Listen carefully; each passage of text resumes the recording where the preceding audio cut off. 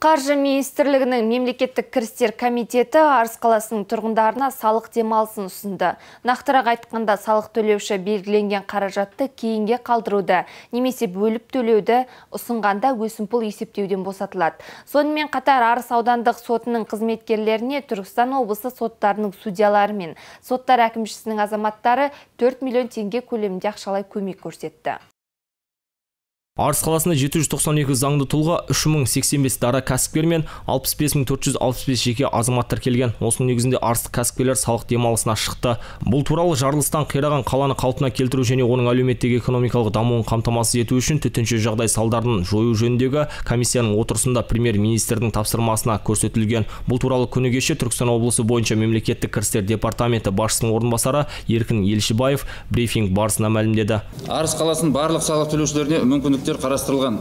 Дара кәсіпкер дара кәсіпкерлер категориясын жекелеген қызметтерін жеңілдетілген тәртіппен тоқтату салықтық есептілікті тапсыруды ұзартуға құқық беру салықтық есептілікті тапсыруды тоқтату ұзарту или қайта бастау. Осындай салық төлеушілерге салықтық әкімшілендіру шаралары қолданылмайтын болады. Салықтық берешектегі өтеу туралы хабарламалар жіберілмейді. Салық төлеушілердің банк шоттары бойынша касса бойынша шығыс операциялары тоқтатылмайды. Салық төлеушілердің мүлікке иелік етуіне шектеу туралы шешім шығарылмайды. Салықтың берешекті мәжбүрлеп өндіру шаралары қолданылмайды. Одан бөлек комитет барлық шығатын салық тексерулерді тоқтатады. Сонымен бірге басқа да салықтық бақылауға шектеулер қойылады. Қаймана қазақ қамсыз күн кешіп жатқан тұста Арыс қаласында орын алған оқыс оқиға бүкіл елді түрліктірді. Сол бір кезде басын қатерге тігіп, өз қызметін адал атқарған сарбаздар мен полиция қызметкерлері қандай марапатқа болса да лайықты. Айта кетсек, 24 маусым күні жарылыс орын алған сәтте Арыс қаласы полиция қызметкерлері өз жұмысын асқан жауапкершілікпен қарап, оқыс оқиғадан үрейленген халыққа көмек қолын созуға асыққан. Мәселен, сол күні мекемеде күзет қызметінде болған бірнеше азамат құжаттардың қолды болып кетуін қорғап және көмек қолы келгенше тұрғындарды ғимаратқа кіргізіп өз жәрдемдерін көрсеткен. Әрине бұл полиция қызметкерлерінің қашанда халықпен бірге екендігін көрсетеді.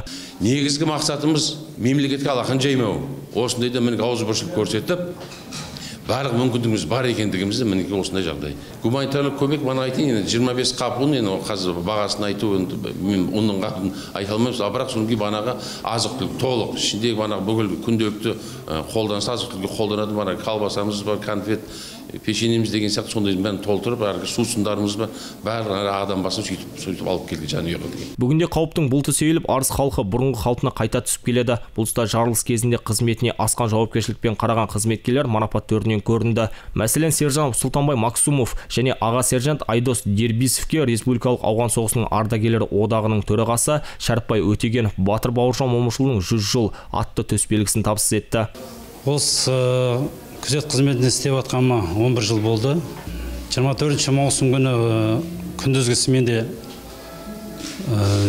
полиция сержант мақсум сұлтан рүстемовичпен бірге екеуміз бір сменде болдық жарылыс болған күні.